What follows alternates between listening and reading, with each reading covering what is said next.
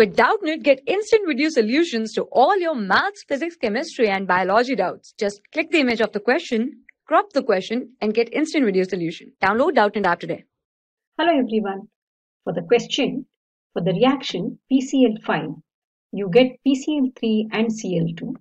Supposing at constant temperature, okay, the temperature is constant, and if the volume is increased 16 times the initial volume, the degree of dissociation for this reaction will become.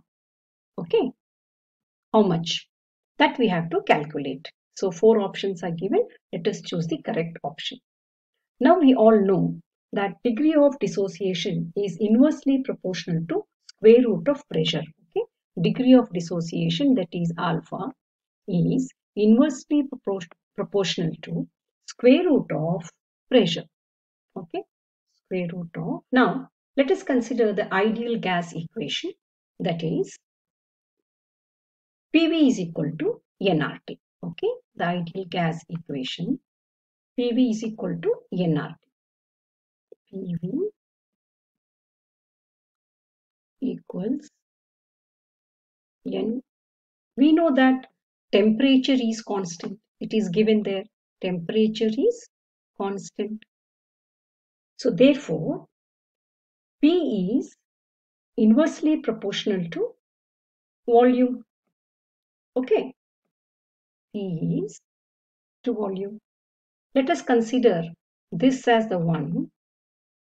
Let us consider this equation as 1 and this one as the second equation 2. Now, considering these two equations, we derive at the equation that degree of dissociation that is alpha is directly proportional to square root of volume. So we can write now alpha 1 by alpha 2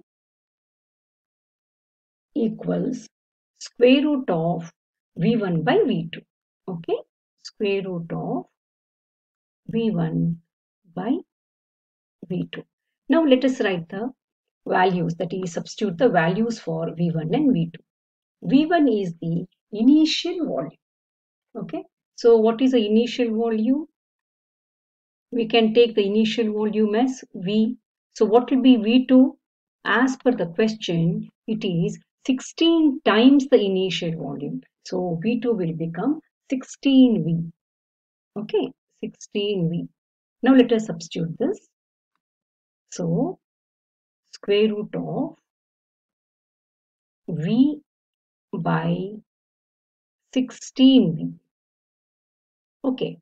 Now this when we solve you get 1 by 16 okay because if we consider volume as um, initial volume as 1 then it will be 16 square root of this. So let's remove the square root. When we remove the square root you get 1 by 4 okay. So this is alpha 1 by alpha 2 so if we take the equation as alpha 2 by alpha 1 then what do we get? You get the answer as 4 so 4 times. That is the degree of dissociation for this reaction will become 4 times. That is the answer. Okay, this is the answer. Let us now look into the options. First option itself is the correct answer 4 times. Okay, if this is A, the A option is correct and all the other options are wrong. I hope all of you have understood. Thank you. For class 6 to 12, IIT JEE and NEET level.